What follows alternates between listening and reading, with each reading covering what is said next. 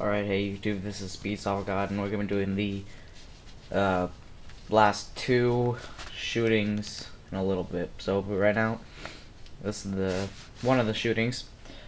This time it's to be doing of the M&P, you know, or M&P, yeah, Smith & Wesson, I was thinking of the name, I didn't really remember it.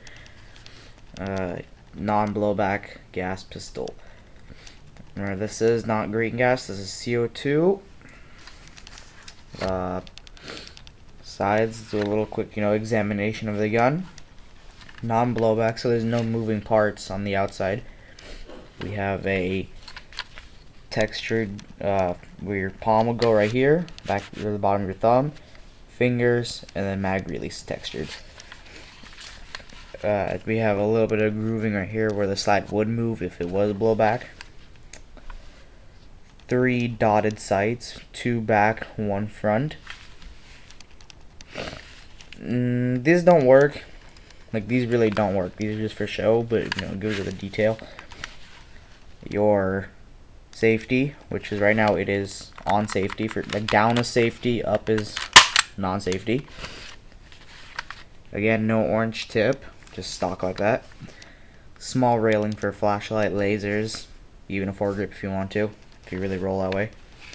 Plastic construction, it's not not a really bad plastic, but still like you know not like you know something special, but gives that comfortable feel to it. Very lightweight, but heavier in the front for that balance. You have a little thumb indent right here, so when you're shooting it like this, if you're right-handed, you got a little thumb indent. And if you're left-handed, also another thumb indent right here. Works just fine.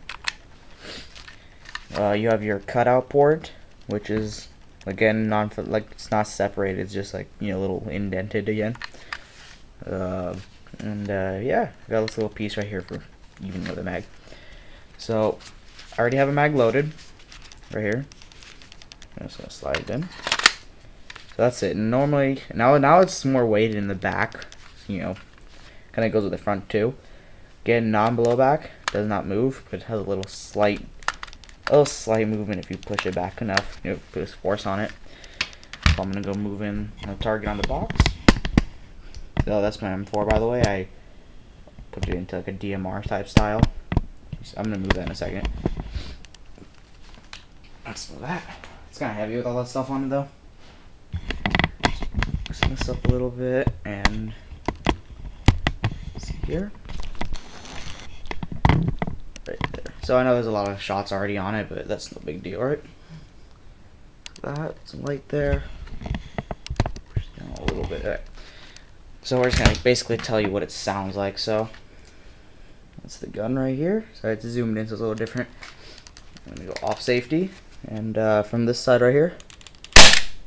Now, because I haven't shot in a while, it has the, uh, you know, the, the little gas blow. Let's see, there we go. Now we're gonna go from this angle right here. So right here, it's kind of from the camera angle, so weird. See, it is lining up with the shots when you get down to it, but see here.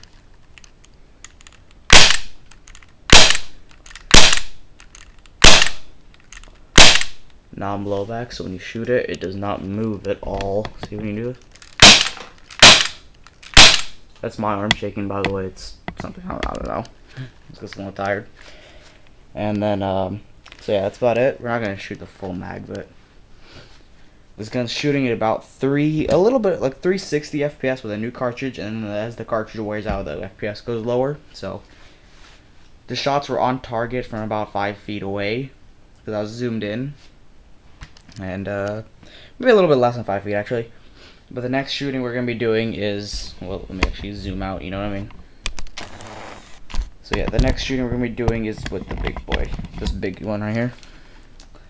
The next shooting we're to be doing is with the Ignite Black Ops BB pistol.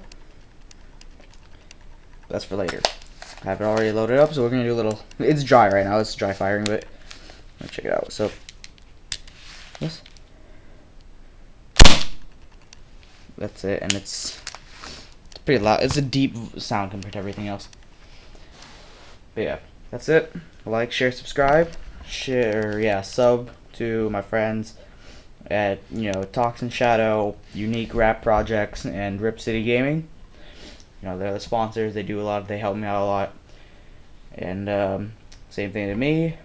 Comment your like, give me feedback. And yeah, we'll get to you shortly with the next one.